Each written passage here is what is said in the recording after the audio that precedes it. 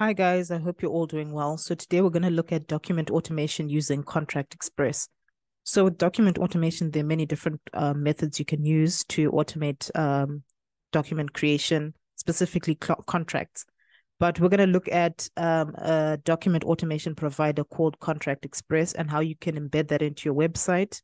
Um, if you're a lawyer who just wants their clients to go through their website, generate standard documents, add an e-signature feature, and then automatically they have a valid contract. So if that's what you're trying to achieve, that's what we're looking at today. So this is like a dummy website I've created. And so there are different rooms. I've called them different rooms. And so it's like a social network or website, whatever it is you want to call it. So here people would comment, and that's what we have on the activity section. And then there are different rooms and each room has to do with a certain topic. So let's say you want to create a prenup agreement, you'd go into the marriages act or marriages room, and then uh, people can ask questions, you can reply, and then you can generate a marriage contract or prenup contract, if you will.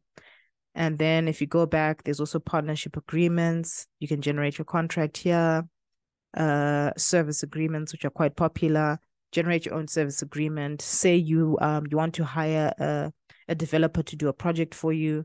You can automatically click, click generate contract, and then it will take you to um to a website. So the website is Contract Express that we're currently using. They're going to um, be responsible for all the document automation in terms of sending out documents to your clients. That's where you can also edit your templates. You can also edit um, your alarms and things like that. So you can also uh, use it as a button on your website, or you can use it as a link. I just don't have any CSS, so that's why it's a link. Um, so a client now receives this page, and then this is obviously a T's and C page. They click next.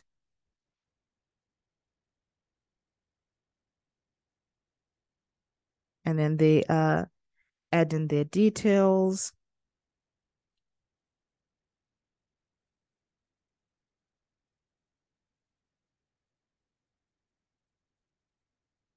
Mm.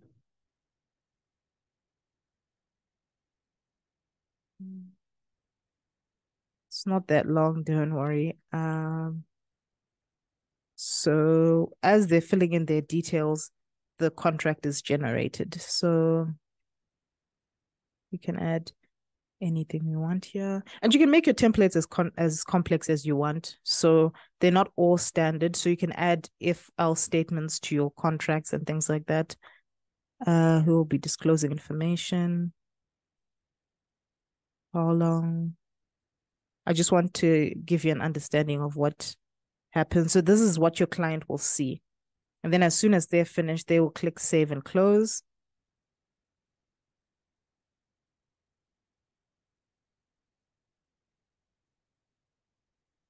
and then the uh, NDA for whoever just filled it out is ready to go. Um, that's pretty much it. And then the next thing they can do is to download the actual NDA and uh, take a look at it. So let's just try open it.